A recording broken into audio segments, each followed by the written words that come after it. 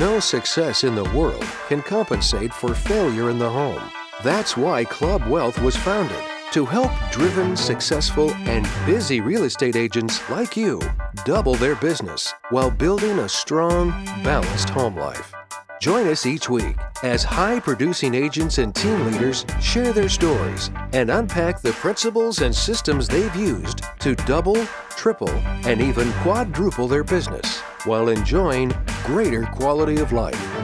And now, here's the latest episode of Club Wealth TV. Guys, Michael Hellickson here with Club Wealth Coaching and Consulting. I have with me the amazing, the fantabulous Miss Cherie Benjamin, as you all know, is the queen of the real estate universe uh, and needs to mount uh, her screen there a little bit or di- dial down the volume a little bit on her screen or on her uh, on her computer there.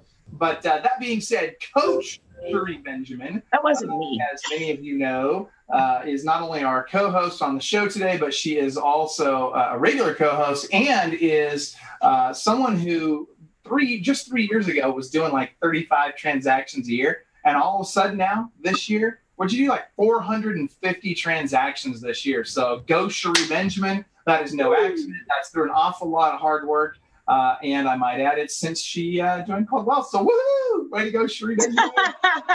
Throw that in there.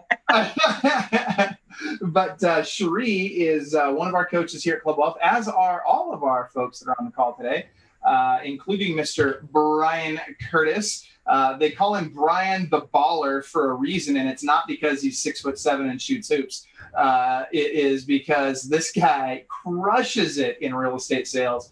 And uh, in a little town called Bentonville, Arkansas. And if you don't know where that is, welcome to the rest of the world. None of the rest of us do either. Uh, but that's okay. Brian has figured out where it is, and he has figured out how to sell a ton of homes there. Uh, and by the way, I see that we've got. Um, I said we've got Sandy Stites watching us. Good to see you, Sandy. And uh, so anyway, Brian's crushing it there. Brian's also one of our coaches. Brian does over 330 transactions a year as well, uh, not counting expansion teams and all the other stuff he does. Uh, and then, of course, today's guest. Again, I don't even know where to start with today's guest, but I will tell you that I've got to start somewhere. So essentially, all I'm going to say is it's Mr. Dan Baltzer, who is also a club wealth coach. Dan is a freaking baller.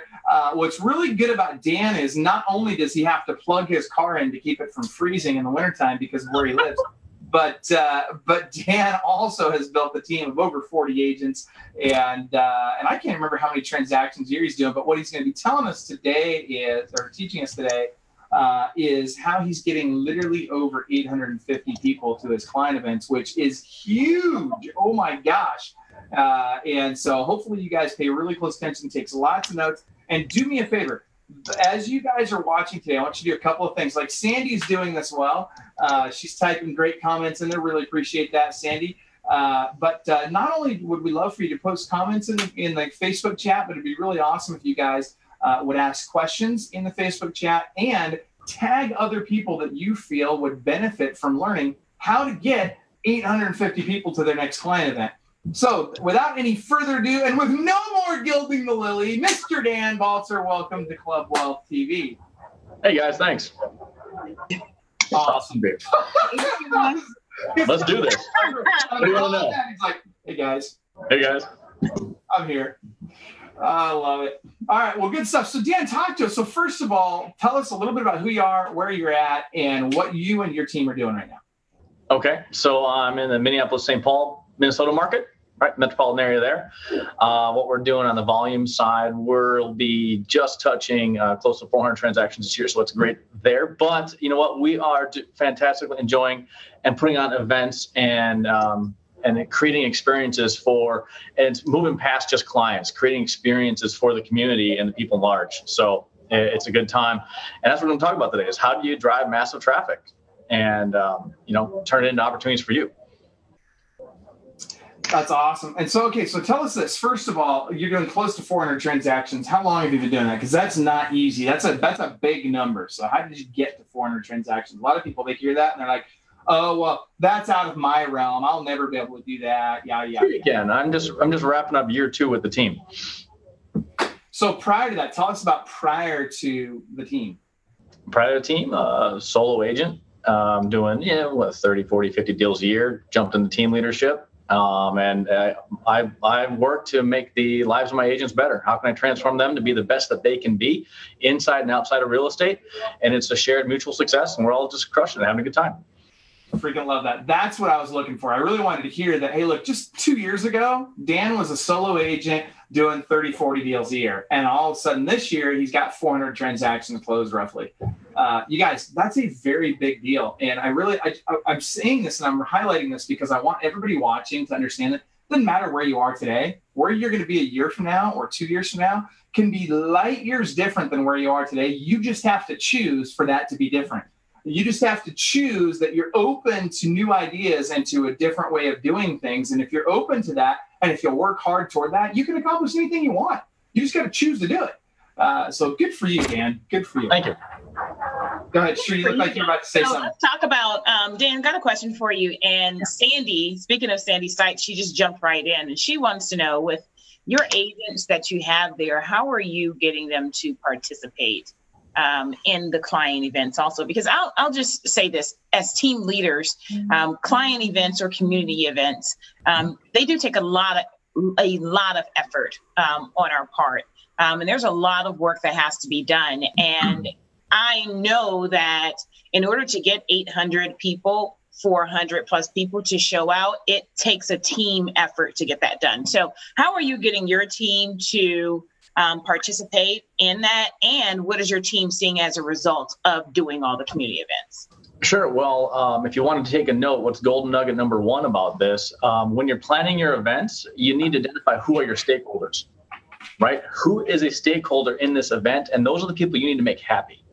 They need to have a positive experience from this event. Okay. So, from my perspective, I have a bunch of stakeholders. I have the venue, the location. I got to make them happy right? I have my agents, they have to be happy about the experience they have from this, right? The vendor partners you have, they have to have a happy experience time, right? Anyone you have involved, and of course, the general public or the, the attendees have to have a positive experience as well. So you have to understand and know who it is that you are needing to cater to and set an event up that actually feels like success and a win for everybody right? So to answer the question, how do you get your agents to participate? Because I know they're my stakeholder and there is a benefit or a plus side to them, plus they get an experience from it as well. Okay. Now, tangible outcomes. Yep, you get um, when we do this. Uh, maybe this will come in discussion later, but we're tracking who we're inviting, who's coming in. We have a registration system where someone walks in and says, "Hey, um, Mr. Smith, Mr. Smith," and this could be an online lead, folks. Oh, there's another nugget. Invite your leads, right? Mr. Smith, who's your who's your host today? Oh, Agent Sean. Agent Sean's over here. Now you're walking Mr. Smith to go talk to Agent Sean for the first time, second time, third time. They're still in the conversion process and doing that. Um, and we have other anecdotal stories of mid-level CEOs attending our event and then coming up and saying, you know what, I'm going to work with you guys because you guys do this class act type stuff. And it's just a reputation building that they get to be part of, right? So that's kind of the, the quick answer is how do we get your agents in there identify stakeholders and then create their experience with a couple then quick commentaries of an examples of how one of the things i love about what you just said there is it's all about making sure that they have a great experience right? It's about how they feel. It's not as you know we've all heard the it, i guess it's kind of cliche now you know they won't remember what you told them. They'll remember how you made them feel yada yada yada. But there's real truth to it. There really is. Mm-hmm. and so anybody that comes to your event it's not about the event has to be perfect or the catering has to be spot on and everything can you know has to be just right it's about when that person comes in i hear the first thing you're doing is you're, as soon as they walk in you're putting your arm around them you're saying hello you're asking them how they're doing uh, you're introducing them to their host you know if it's one of the agents on your team you're making sure that they feel loved at that event. And I, and I honestly, I, I can't say enough. I really believe that that is one of the most important keys to success with these things. And, and the outcomes won't come unless they feel loved, right? If they just show up to your event and it's kind of okay, and even if the event is really awesome, right? You're like, you know, whatever the event is, right? If it's if it's just really cool, whatever, if they feel like you didn't care about them or you didn't take the time for them at that event, they're not to they're not to do the things that they would do otherwise if they had felt like you did love them. Correct. Yes. And it'll come back to your next one. You keep having growth, right? As they return, they start looking forward to the whatever your event is. Right. So Dan, let's back up. How are you? How are you all selecting which events you're doing? Uh, how often? Two questions. And how often are you doing them per year? Three times a year. Three times a year. Okay. Yep. On the on the large scale, that's for a couple of reasons, um, and it allows your sphere engagement to then every time one your monthly calls, you now have a pattern. It's you can first call of the year is save the date. Second call is hey the invite's gone out. Third call is confirming. Hope to see you there. I mean, it gives a reason to call your spirit engagement. And if you're giving something, you're never asking for something right? And that alone, just having spacing at three times a year allows you to do that. Plus, then the other reasons to call your spirit, and we have a whole list of why to do that. But it adds to that piece. How do you engage with people? How do you, and you always have something to offer and something to add, right? Um, and then selecting the events I'm doing. Um, I'm picking events that have a little larger scale now that kind of we've um, proven that we can do that. So then on my agents can do individual smaller level events for if they want to do it for their own database, right? So I don't want to take up an event that can be that they can do on a smaller scale so that they can still engage it and grow their business. I do the bigger ones that they can come in and be part of, right? Um, now, when you're deciding what events to do, it's what time of year. There's a whole bunch of things to go in, right? Um, so it's it's what can you do? Like you know what? It's my winter one. I'm not going to be doing something outside from a winter one. So you have to work within your what you can do. But it, it comes down to what do we want to do? Was it make it work? Whatever. Um, we are removing the word client from events. Period. It's not a client event. That's Love gone. Um, actually, we're going to start naming it our, uh, you know, like a, in the spring we'll do Movie Fest. Uh, we'll do a summer jam and a winter party or something like that, and just name it seasonal or based type thing like that so that you can always change them what it is but it's still under your branding and your piece of what's going out um, and that type of thing so are you all deciding this just amongst your directors or is this something that you're deciding as a team as a whole so those of you who don't know Dan has a group of what we, some of us call squad leaders. Dan calls them directors mm-hmm. um, that are leading uh, the team um, for him. So, how are you all deciding with this? What types? Oh, I'll take a I'll take a crew meeting and say, hey, you know, hey guys, throw out some ideas. What would you like? What would you like us to see? And this is you know team wide. So it'll be 40, 40 some of us in the room. And what would you like to do? We brainstorm ideas, right? Um, we don't come to a final one there because first I have to check out a whole bunch of variables. Where, can an event hold that? Can I have a venue for that? What's the price for that? Right. But I'll create uh, and have everyone involved in creating a list of things for us to go explore. And then final decision will be uh, myself and directors as we look at budget and costs and what's going on there, what makes sense. Right. Okay, so I love that you're involving all of them in it. And I also love that you're very clear with them about, hey guys, you know, there's a financial cost to this, and there's only so much we can do. Uh, Now, that being said, I, I want to come back to the reason why you do the events. Now, we all think it's awesome, and, and all, I think I speak for pretty much everybody that's watching right now and saying that, gosh, how cool would it be if we could get 850 people out to our next client event? But really, it's for you, correct me if I'm wrong, the purpose is not, hey, I'm going to get 850 people to this client event the purpose is, hey, I'm going to create an excuse to make a phone call to my sphere of influence three different times prior to the event. So not only are you not just emailing them like a lot of people do, you're literally calling them three different times before the actual event happens, which, by the way, I've got to say, probably has a lot to do with the attendance you're getting. Is that right? Yeah, and it's you know you do it a monthly sphere engagement, but as you get closer, you can ramp up your touch points. Hey, did you get the RSVP? I haven't seen you. I just want to know if you're coming. And because I need a head count or I need this, right? So you can actually have the ability to reach out to them many more times because you're just trying to see where they're coming and you're trying to give them something and should you be planning on them right? So it's not a hassle or a burden.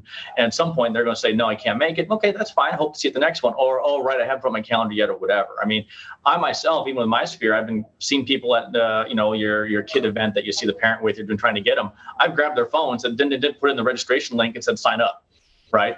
and you just drive traffic there wherever you go. But it's, oh, hey, I meant to see it. Yeah, sorry, I haven't seen it. But it's that persistence, but it allows you to have multiple touch points and frequent touch points.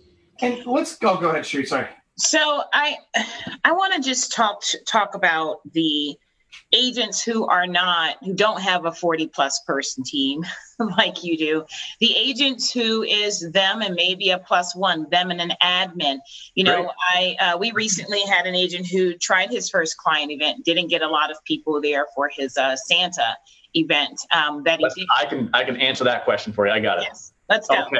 And I just was talking with one of my coaching clients on this, and they were thinking about, you know, as pictures with, right? Think about it. The thing you're creating has to be a big enough hook to interrupt their daily plan schedule, right? A picture with the Santa is a nice add-on. It's a nice perk, and actually I deploy that differently, but it's not that big of a draw to get massive amounts of people for a picture only. Okay, I'm going to draw. I'm going to drive 20 minutes to get to a location for to stand in line for 10 minutes to have a 30 second picture point and then to leave and drive home another 20 minutes. Meanwhile, I had to figure out what the outfits my kids are going to wear, and that was a fight and a half. And it took me half hour to get out the door to get to that. And now I spilled hot chocolate because you're going to have cookies there on her brand new white dress. And right, so okay, like a dad with experience. I mean, so when you think about it, again, what's the experience my attendees are going to have, and is the hook big enough, right? So here's what you do with the like the picture piece, right? You create it, do this, fine here, combine it with a pie day Come get a pie, mix and mingle with friends. There'll be some kind of games there, and you get your picture taken with Santa. Right? The the picture with is an and, but what's beautiful about that is when people register or you're inviting leads or whatever, they may give you a fake email, fake whatever to register. But now you take the photo opportunity. What's the best email to send you your photos? They're going to give you the legit one because they want the picture of themselves. So now you're going to get pure data. It's another hook to get them to enter information register and register for them and whatever, right? But the picture in and of itself is not a big enough draw to get a large number of folks, right? You, are going to get some who are over loyal to you. You get 20 people, and those are the folks who will bleed for you no matter what, right?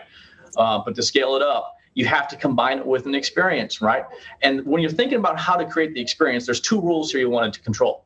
Okay, you want to control where their feet go.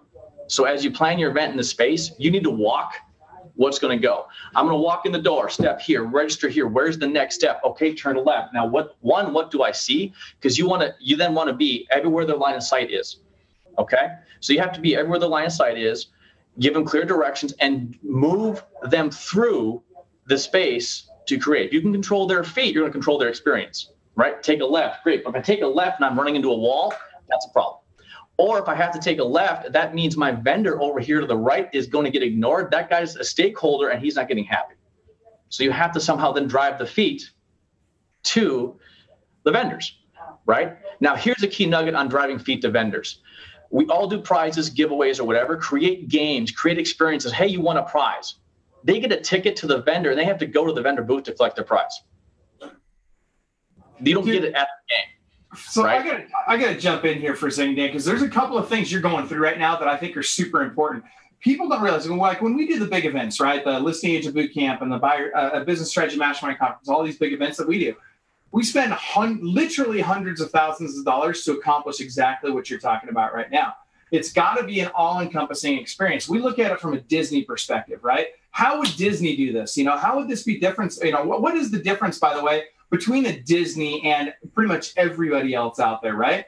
Every step of the way, the look, the feel, the smell, the the entire experience is what Disney decides it's going to be for you. And what you're telling us is that you're doing that with your client events. You're making sure that at every turn, if they turn left, you are controlling what they see and you are well aware before they even show up to the event what they're going to see to the left. And you're making know, like your whole driving them back to your vendors that's huge. First of all, that you even have vendors there that are obviously paying to be there, and that you're uh, incorporating them in with prizes and games and giveaways and all this other stuff to really make them a part of the overall experience.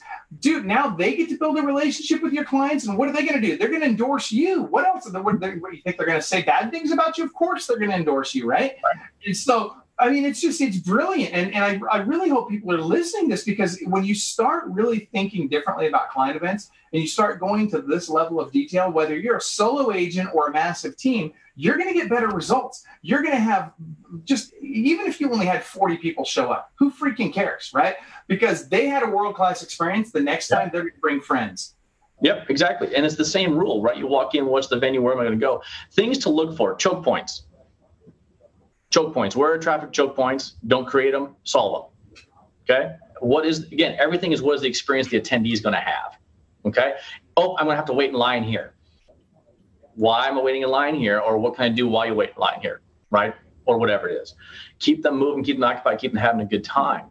Right. And this applies to any of the events. You said no matter what the size is, you know, you're engaged and they're having a good time, you're what the piece there, right? Now, to the agent and the admin plus one, I learned this our first event in 18. We had 650 some folks, and my agents were the labor and worked everything. Mm-hmm. Mistake. Because what can't they do then? They can't network. Yep, they can't engage. Yep. Mm-hmm. So now, guess what? So my 851, I have that problem. I now have to have things worked not by my labor pool.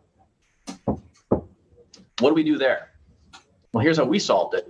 We ran a silent auction with some really cool stuff to that, that was raising money for charitable causes. One of the charitable causes was the Girl Scouts. and The Girl Scouts provided the labor. Okay, that's really cool, actually. Now I got the community involved. Super good idea.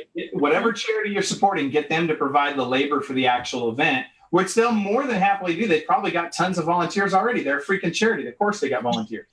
right. And then I created an event where I didn't have to pay it out of my pocket. It was the revenue from whatever this was. So there was a third hook. We had a silent auction, right?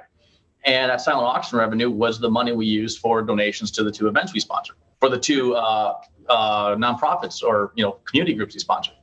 So Dan, there's a benefit of the benefit to that whole charity thing and getting their people to do the the uh, to get their people to do the the, uh, the the labor at the event, right? If you get a bunch of Girl Scouts show up and they're going to be the labor for the event, guess who shows up with them? Their parents, mom and dad, and guess who's now a part of your sphere of influence, dude? Uh, brilliant, seriously, freaking. Oh, and now what happens now is they've asked us, "When's your next one? Can we help again?" So now yeah. I have the labor pool asking to help us again. Yep. Well, I think, and, and not only that, but those they can also get them involved in inviting people out too. That's why you're doing a community event and not just a client event, so that so, these vendors can invite their people out, so that the organization, the, ch- the charity can invite people out. That's why you're doing it as a community event versus just a client event. Mm-hmm. Exactly. And then that opens up who your vendor possibilities, right? Have the mom and pop restaurant host something there and do a tasting right? Have the local sports shop there doing if you're doing a sporting event with some gear they can test out or whatever game they want to play around. You can actually then get biz- local businesses in the community taking part. So you open up your vendor opportunities. Dude, that's freaking huge. That's huge. So let me ask you this: What have you grown in terms of vendor opportunities? What have you grown to, and how did you get started? Because this whole vendor thing, I think, is a is a is a mystery to a lot of people, right? How do I get how do I get vendors to actually pay me? I asked my lender, and they said no.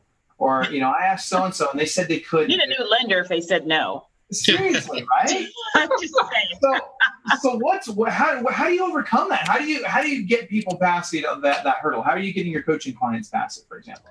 Um, okay, so uh, you have to paint the concept first, paint the vision. Anytime you guys are all salespeople, paint the vision of what this is going to be, and if you can open up to it's more than just this for my 15 clients, it's something bigger. Get them in there, right? Now, tip number two, uh, or kind of secret number two, is if and I'm you've seen this in the Club Wealth pages, perhaps, but you've seen the videos of my event, right? Mm-hmm. Which means who was there at my event? Your videographer. Guess what? Now I have uh, social proof in a video that anyone who wants to, I'm talking to vendors. Here's the type of event we do. Why do you want to be part of this? Here's what the last two look like. Go ahead and take three minutes and watch it. I'm going to bring the audience. Do you want to be part of this? Yeah, and you're bringing quite the audience. Okay, so what do you what, give us some idea on numbers? I mean, obviously they're going to pay more to be at an 850 person event, but how did it start off? You know, what did you start asking for, and and what was the response you got? Uh, so let's see. Bring it all the way back, Dan. Bring it all the way back. Bring it back.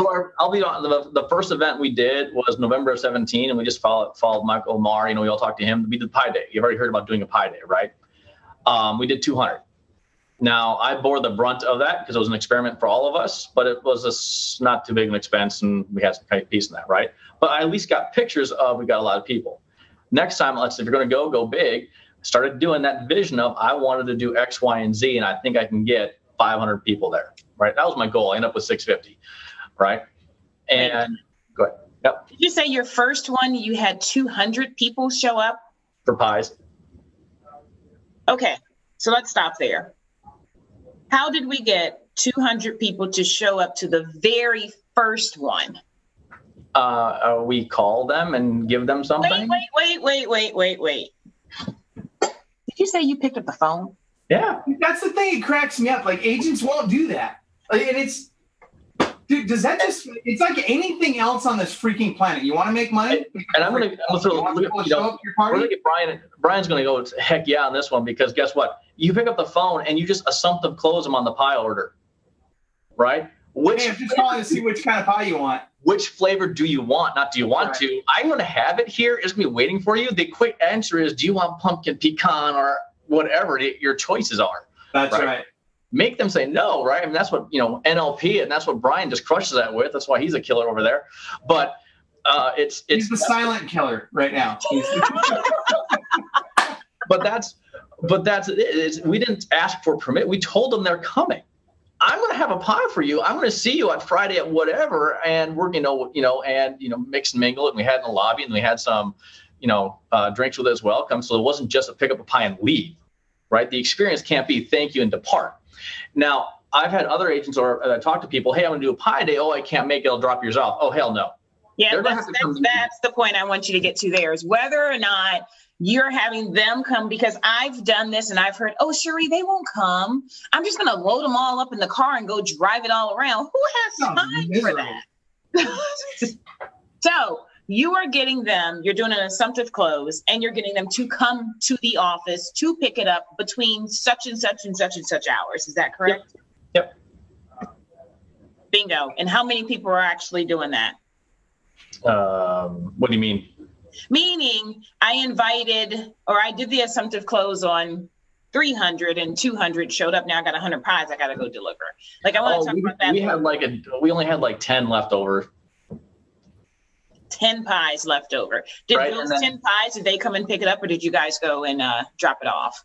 Did they eventually come pick it up? Or did you eat them? Um, you know Yeah, what? I just got really fat that week. I'm just Yeah, I probably would have ate them. No, no, no. You do it this way. I gave it to all my team because the bigger they look, the, the bigger they get, the smaller I look. So right. Exactly. That's the Hellickson way now. As he keeps on shrinking. Doing the best they can. bigger people. Yeah. Here's a good question for you, Dan. Um, I feel like you pointed out earlier that a lot of people don't like to make the phone calls. Is that a fair assumption? uh, yeah, but that's and this one year is an invitation year. Hey, come party, right? You're just rallying your troops for a party. So let me ask. So let me ask you this. Um, and I'm not trying to hold you to, but on the average, how many phone calls a day are people making on your team? 40, 50, 60? Oh, that's probably too high to be honest.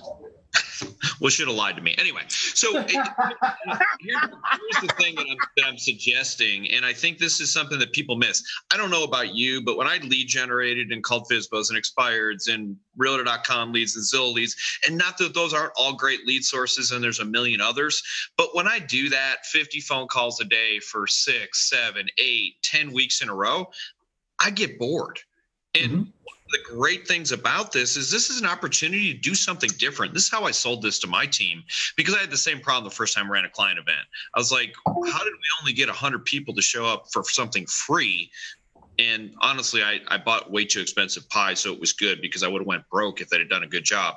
But don't buy $27 pies. That's my piece of pie. Oh my advice. gosh. No, Costco oh, seven dollars. Costco Brian, seven I could have dollars. made you some, fi- some pies for 27 bucks. Yeah, me too. Holy. Call me Brian. New So we had a specialty pie shop here, which was great, except that, by the way, not required because no Dude, I one got really news for you. Their specialty is ripping you off. That's- but here's my point though if I, hate to say this but we have to sell this to people who we work with because you know we have to give them a reason to want to make this phone call outside of you'll get more business because but if you give them the idea how about doing something different? Change it up a little bit. And then here's the other beauty of it we haven't talked about this what's the follow-up? So i have a great event what am i doing for the let's say the week after let's say my client event's on a saturday what am i doing the next seven days All right, so I'll hit the next seven days question, but something else I'm inviting people is agents should be doing Facebook Live videos saying, hey, I'm having this big event and just pushing out their social media as well. Put them on camera, put them on video, and publish it out to their, their networks and database there as well. It's, so it was, it was phone calls, yes, but it was land, sea, and air. We actually did a mailer invite. There's an email campaign for it. There's a link for registration. So we had a t- bunch of different ways. And then they went live on video into their into their spheres and whatever. And it could be just them driving. Hey, folks, guess what? I, you know, my name's Dan here, heading home for the day, but you know, we're having a party on the 23rd, blah blah blah blah blah, and go. And I need to see you there. Comment here. If you're coming, I'll kick you the link or something like that, right? So, so let me follow up on that before you do that. So here's the problem I have with that, unless you there's an ancillary step. And what I mean by that is if I give the average person the opportunity to do a Facebook Live, they do it once and they won't make any phone calls. What is the purpose of the client event? For me, the purpose of a client event, one of the main purposes is to call people. Oh, yeah. So my point is that is if you're out there listening going great i just got a shortcut. I'm going to do a client event. All i'm going to do is do a facebook video send it out. So we are in the and dan would i know this without even asking him. He's in the and business. And what i mean by that it's mm-hmm. facebook live and phone calls and text messages and video text messages and a mailer. Because here's the thing if you, the amount of time energy effort and money that goes into these things if you call 10 people, you have failed miserably because there's way too much opportunity here. It's kind of like the person who goes and does an open house, puts one sign out, and spends two hours sitting in the open house. Go, you know, it didn't really work. Well, of course it didn't work. But if you'd have taken one more hour and put out more signs and ran a Facebook ad and ran a Craigslist ad and did follow the the Club Wealth Mega Open House checklist. My point is, if I'm going to waste time waste time. If I'm going to do an event, do an event and make sure that this is what we're focusing on. And I think the people who don't have success at these things is because they don't take every one of the steps. And again, if you're a Club Wealth coaching member, there's a Trello card for that. So yeah, so AKA don't half booty it. I'll, I'll yeah, say right. don't, Did you just say half booty? Yeah, I didn't want to say the other word. Toni Braxton has a half booty. don't, don't do that. So back to follow up. So what are we doing uh, afterwards? The week after, right? Now the week after is hustle. Okay, the week after is actually pretty critical. Okay, um, one, you're dropping a call to everybody who who registered and said they were coming, and we're not there. Hey, sorry you didn't make it. Hope to see you at the next one. Hey, by the way, our next one's going to be in June. Save the date, but I'll be calling you again if you don't get them. You're talking about it or whatever right? Your videographer has to pump out the footage to get out because then what you're going to do is you're going to publish that on social media and you're going to tag all your vendors so that they can set and spread it out as well, right? Because you got to give them all the love and the props, right? So when you're talking and scripting what your videographer has to do, you need to capture collateral that every vendor can use as well as what you can do. So there could be different versions that are created, um, but the main one has to at least feature all of the folks that need to be featured, whoever you have, right? Now you don't want to tell the videographer nothing over two minutes. Okay, and someone's going to watch it. The first version I got back from my last event was three minutes, and I told him to cut it down. And he was like, and he's very artistic, and he liked his product. And I said, I love your product too, but who's going to watch it past two minutes? Right? But see, and, they don't see it that way. They're like, dude, I got it. I'm, I'm going to be a feature film director one day. So, uh, he wasn't going there, but out of this thing, you know. But I said we're going to keep your artistic flair to it. That's perfectly fine. But I we got to stop at two. So you have to have a pre-step conversation with your videographer of what it is you're going to know and know what's the collateral you need to capture. Right now, my event in the spring, we actually had interviews of attendees. So then I had a person with a mic uh, my PR with the mic interviewing on a separate camera piece right there, and then that got embedded into the clip as well. And, and, for use. And there's again greater testimony about why use us, what was the grade, what do you think of the event, and that type of thing, right? So we had to identify who are the ones that we want to try and speak, and that, that type of thing. And then to the point of where's their eyes, even the microphone had our branding around it. So everything that you looked at was seeing us and what you. Dude, you are so cooler than me. Ah. I can't believe I didn't do the freaking club wealth on the microphone thing. All right, that's happening. Like, oh my gosh, there's my big takeaway. Uh, He's probably watching. It's the little things that matter, you guys. It really is. Oh my gosh, you just give me a freaking blown mind on that one, man. That's awesome. right. So the week after, you have to get that. You have to get it published. I, I or my director, whoever knows the relationship to the vendor that came in, is closing and saying thank you. What's going on? I mean, did you have a good time? Was your event getting feedback there? Um, we're blasting out. Now we did silent auction, so now we got to call the winners because you didn't have to be present to win. We got to do that collection piece there um, and get all that distributed out. Again, they can come again, come collect it, right? So now I'm getting video and social proof of them collecting their prize, collecting their winnings, and B-roll collateral for that. We had a grant like you do. We had a grand prize drawing, right? I did a separate little video that produced out, and I announced socially, "Hey, Tanya, blah blah blah blah, you are the grand prize winner of a trip giveaway," right? Um, and then a whole bunch of comment, and I tagged her on it, and a whole bunch of commentary of, "Oh my god, right? And you know, so that'll lead up to as well. So that that week after is quite busy. And the best practice is to have, a, if not a date, a month you're going to do the next one hey we'll be doing another one in june and you'll be hearing from us so that you can start prepping them your audience that you're you're coming again with another big party and you want them to come celebrate with you and get them jazzed up from it coming right out of the gate does that make sense brian did i answer your question So I think you did.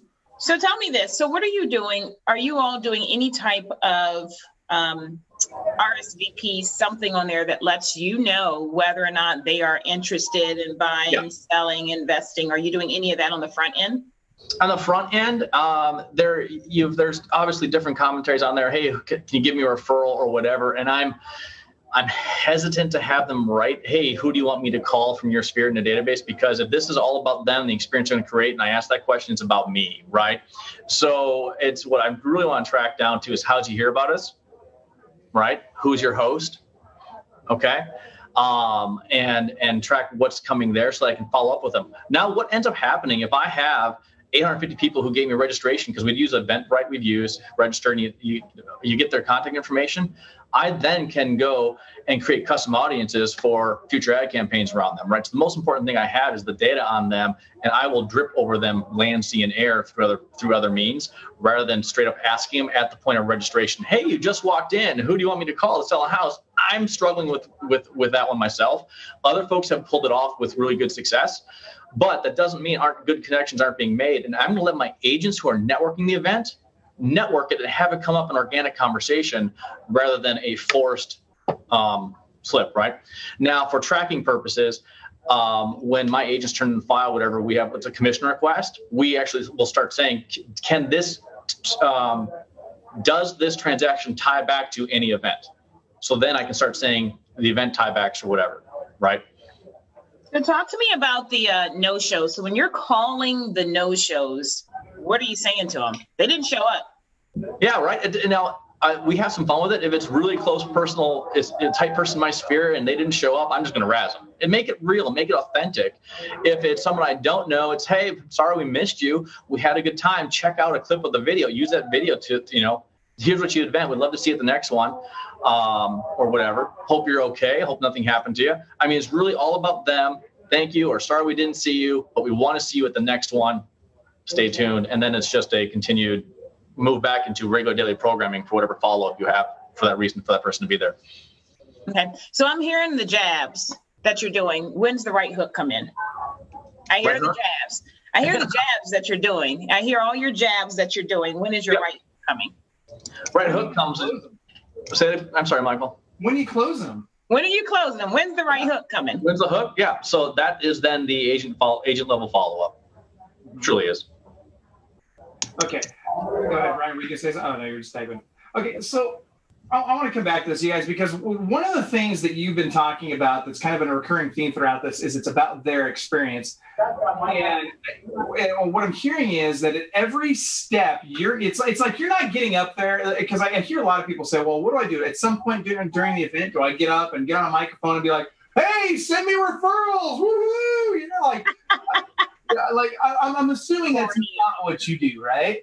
No, no, no. So at the uh, first event this year, at the 650 event, at one point we were doing live raffles at there. You had to be present to win. So then I did have to get up and do some speaking, but it's all about announcing winners and hey, and it was a thank you for being here, right? Um, at the other one, the, the one, the 851, it was me at the door just welcoming people because there wasn't going to be a public audience uh, type the way that was playing out. So we're still going to high five, know everybody, right? Um, uh, tidbit number two: whoever is working at the venue or your team, make them all wear the same thing. So my first event, the 650, was a movie theater. All my movie theaters were wearing this, employees were wearing my shirts. Wait, a minute, the theater employees were wearing your shirts as well as your team? Yep. Nice. Nice. So what happens though when somebody goes up to one of those theater people and, and says, Hey, so I'm thinking about buying a house? Fantastic. Talk to someone who's not standing behind the counter giving you your popcorn. Touche. I love it. That's awesome. Okay, so eh, let's come back to Cherie's question. So how do your agents when they do the follow-up call, how are they closing them? How are they closing them? It truly is because we have spheres people who maybe we're just giving you know, it's an event sponsor them as past clients. It's really going to be based on what they were. If they were a lead, hey, glad to meet you, and you had an organic conversation with them at the at the um, at the event, so you know their timelines, you know the piece, you're putting them into the right follow up campaign, right, and do them. It's not going to be, hey, hey, you came to my event, now I'm going to come meet you. But it's going to be whatever organically transferred and move forward, right? Are they an aspirational buyer? Then I'll put them into my aspirational follow up campaign. If they're uh, research based, I'm going to put them in the research follow up campaign. If they are straight up, it's time to transact, then we're closing it and trying and transact, but it's going to be based on whatever it is they tell us what we learn from as we go. Okay. All right. But the bottom line is there's a lot of follow up happening after the fact.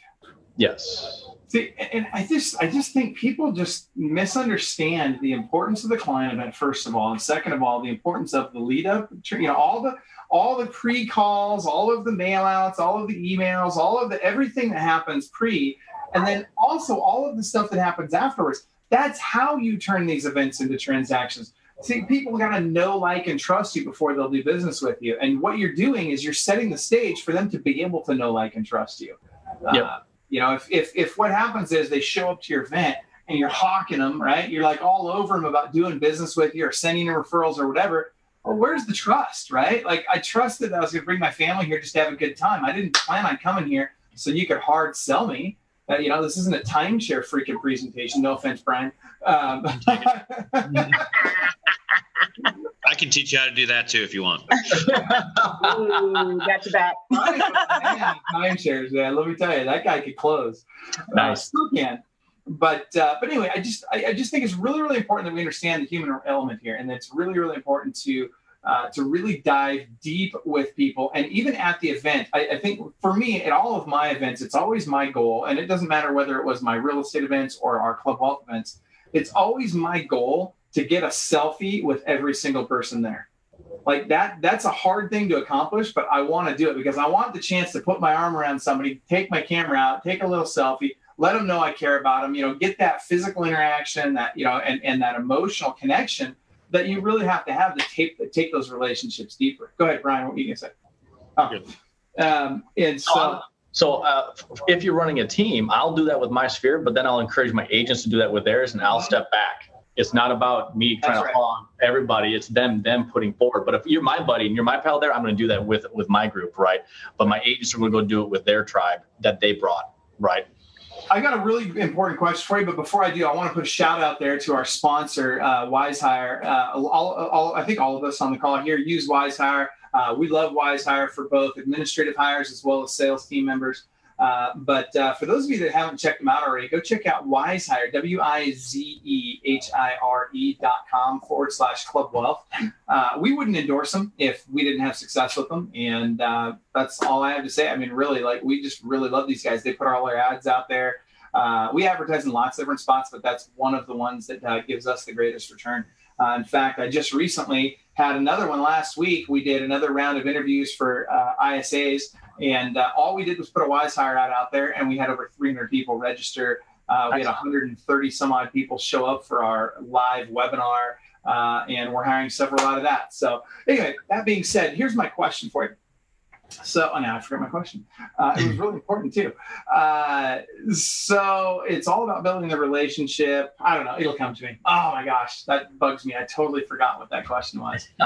Uh, so go ahead, Cherie and Brian. So one thing I just want to echo is because it's it's um, a lot of the team leaders. It's always hard for them to get their team so involved and get them gung ho on this. And I think we always have we need to bring it back to it's about having that your customer experience. So the customer experience that you're trying to create within your with your team and what your standards are. That includes your client events or your community events that you're throwing. And that makes you all look different to the general public. Inviting everyone, inviting leads. Um, gosh, I don't know why people don't do that. Some people only invite their sphere and that's it. They will only call the people that they already know to come out to their client events. Go ahead. Okay, Mike. but Cherie, hold on now. So I and I get that, and I'm with you, and I'm I, I feel the same way you do about it. But I want to ask you. I'm going to play devil's advocate here because Brian's not. Um, so so here's what I got to say. So.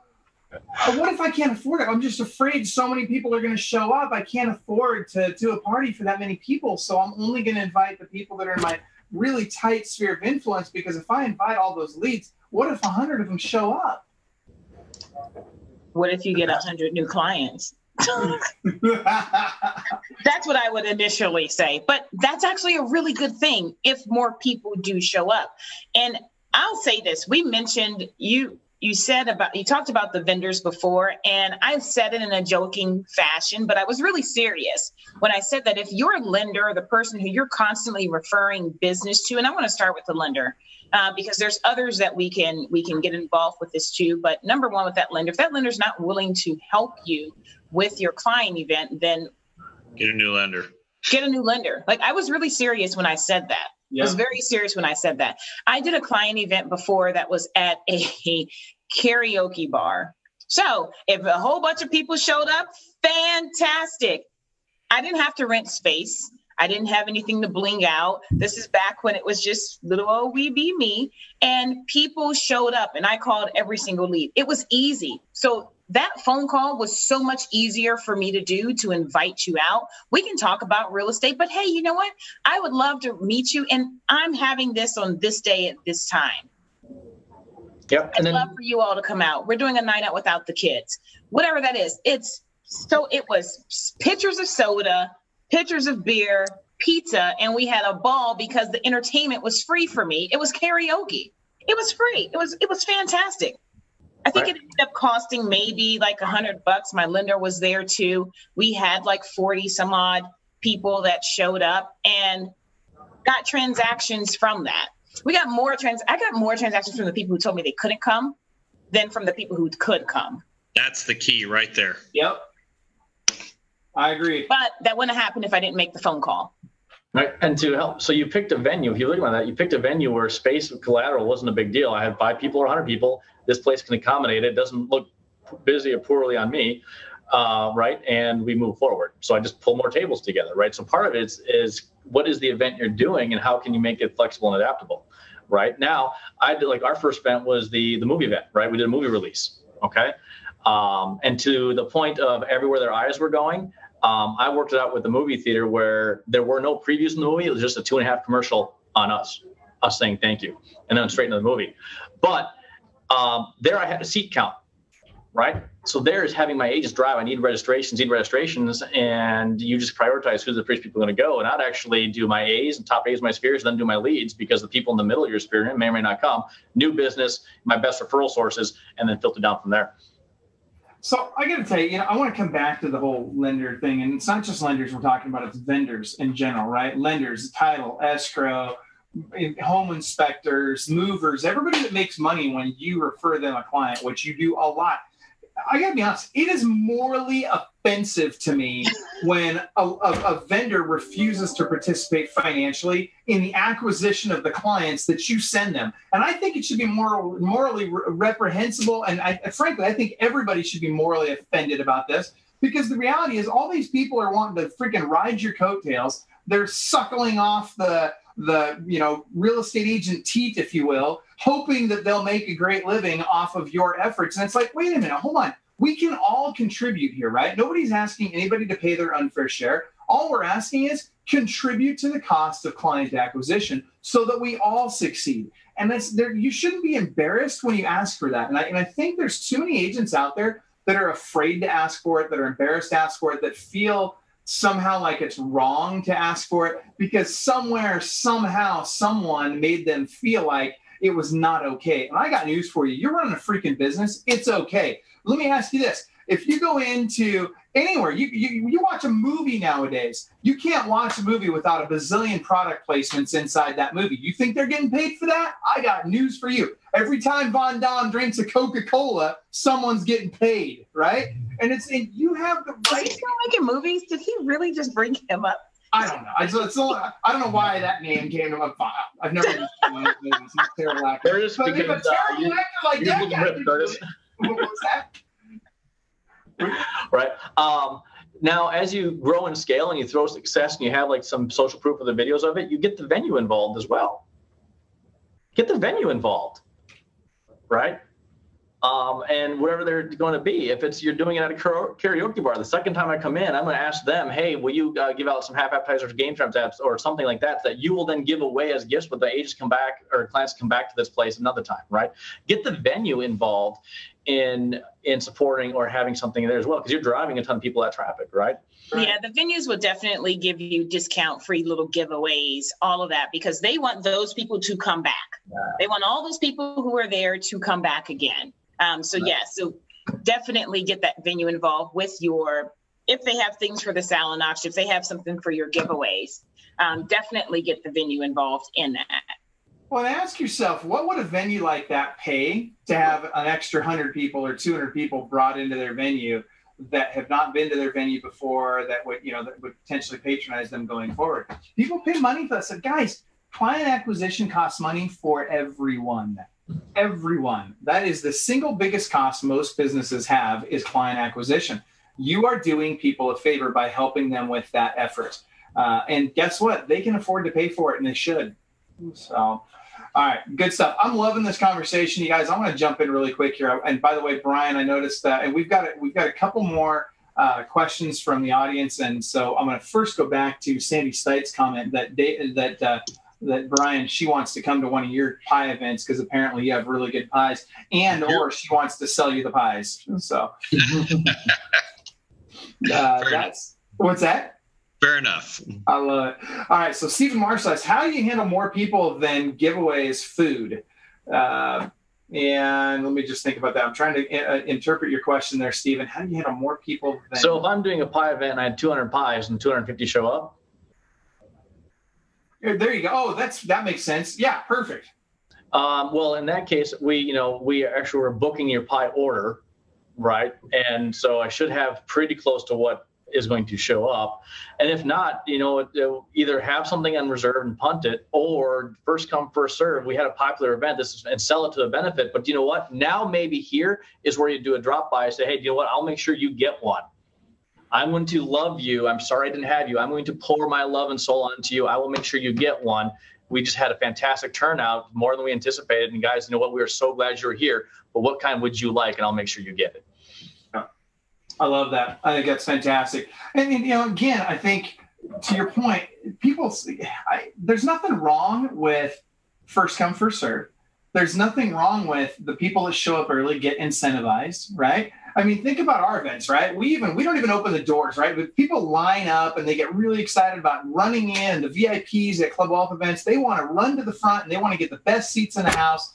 And so, guess what? So we wait and we open those doors at, at, a specific time so that we create that rush to those chairs because it's exciting and it gets the blood flowing and gets people, you know, just in that mood, right? Well, you do the same thing with this, right? It's people show up and if it's just, oh, well, there's a bazillion pies on a, on a shelf behind you, and they show up and they know if I show up on time or if I show up an hour late, I'm still going to get a pie.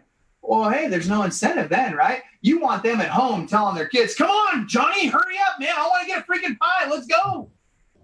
So, yeah, and depending upon how your food is set up or what the place is, it's okay. You know, so you, you go to some places where the food is set up kind of as a buffet.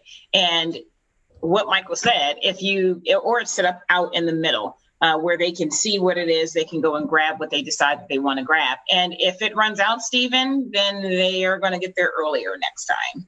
That's right. And they do. And you know what's interesting? Sometimes they'll complain about it. Like we get this once in a while. They're like, well, Michael, I, I, I really want to buy a VIP ticket. Well, I'm sorry, they're sold out. Well, I'm upset. I'm a, I'm a tier four. I should be able to get a, a, a, a VIP ticket. Well, you can just order it early next time like everybody else that got one this time, right? And people get the point. And it's not, it's like, dude, like you can't, we have this many. You didn't order yours in time. I, I remember Mike Bjorkman almost, almost missed VIP for this last event. He was so bummed. He really, really, really, really wanted to get it. And like the last minute, uh, he got like one of the last two or three tickets available for VIP. And he was so excited. You guys can think about that. Like that's what we're talking about here you want to create that excitement. If there's if it's easy to get, nobody cares, nobody wants it. If it's hard to get, if it's special, everybody wants it. Um, so, well, this well, is one of the one of the things that we did on our last client event is we created urgency and scarcity. And I'm not a scarcity mindset person as a whole, but it, and it's really true. And it's kind of a funny story. So year one of our water park event, we I freaked out about three hours before it because they said that we could have 1,200 people and we didn't head count it. And I was like, oh my God, we're gonna have we're gonna have to turn people away which by the way would have been the absolute worst thing to do. So the next year instead of giving me an aneurysm what we did is we actually gave tickets away. So if you we, so we actually verified. And so we emailed people tickets that they could print out and we actually had hard copies. And it's a little bit more of a logistical thing. But again guys eh, how many people do you want to come to our water park event? Well we have eight people. Great. Well you know that's good. We still have room so you're in you know. But and then i would literally have people you know emailing me or calling me the day before hey my sister's in town. And obviously if we had room we'd let them come. But if not we'd say you know guys unfortunately we sold out. And it's okay to do that because again it creates value. Because if everybody can come then it's just something everybody can come to. But if you're special and you have to have a head count because this is something that costs money and this that you know has a value. So make sure whatever you're doing you're giving it a value so that your client appreciates it because you know that's really one of the things that becomes add just adds so much to it so I love the paper ticket because it really does. It creates additional value, right? And it, and it also helps to create that urgency and scarcity. It's like, look, if you want one of these tickets, you better get it now because they're not going to be available in three weeks. You better get one right now. Uh, and so I love it. I think it's fantastic you're doing that. All right. So we've only got a couple of minutes left. So we're going to go to parting thoughts. Uh, so does anybody have anything else before we go to parting thoughts that you want to make sure we cover? Okay, so let's do, let's do this. What are our final takeaways? Uh, and we'll start. And there comes Mike Bernier. Speaking of late, I'm just kidding. Hi, Mike. What's up, brother? We love you, Coach Bernier. Uh, so, final thoughts, biggest takeaways. We'll start with Brian, then go to Cherie, then Dan, and I'll wrap it up. So my thought is really simple: is just do it. You know, ultimately, there's 17,000 reasons why these are hard and challenging and all these things. But the only way you're really going to get any better at this is go out there and try and do it. And you know, eh, the the other thing I want to say with that, this is not about getting people to show up to your event. It's about creating new conversations that don't go. Do you know anyone who's looking to buy or sell real estate? It's about giving back and communicating with people. You know, statistically speaking, 80 some percent of clients said they would work with their realtor again, and 8% do. And it's not because the realtor was bad, it's because it's four years later and they can't remember your name. That's what these things are about. Yeah, they can't remember your name or your phone number at all. Um, so, everything that Brian said, plus um, one thing that I'm hearing uh, from you, Dan, is about the customer experience. And that's one thing that you always want to create is that customer experience from the time that they get there. What is their experience like? Because how they that's how they're going to view you as an agent also. That's what they're that's what they see. That's sometimes that's their first initial impression of you and how your team is. Is your team fun? Are are you a nice person? Do you seem as if you're a nice person to work with? Know like and trust so know you, like you, then we can work on the trust. Oh, not that finger. Then we can work on the trust, you know, later on down. but don't forget that that Disney feel. I, you know, I think back to going to Disney World with my only uh, niece and standing there and just start dancing around in the street with her. Why? Because that was at Disney and it was fun and it was nice and I loved being there. Um, that's what you want to have uh, world class customer experience for your clients. For your vendors, for the for your team members, for the charity that's there, for everyone that's there um, to experience that. Yep, exactly. Um, all right. So as you create your events, find multiple ways to get hooks into them. Right. So the last one I did was an open skate. We did ice skating, ice skating rink, and I had pictures with Santa, and I had the frozen uh, scouts out there for pictures on ice and that type of thing. We had the silent auction. I had vendor booths, right? So multiple hooks to capture data on them, so you're collecting them, so you can retarget them later. But make it all about them and control their feet, feet and eyes, where their feet and eyes go, and you'll be do just fine. Love it.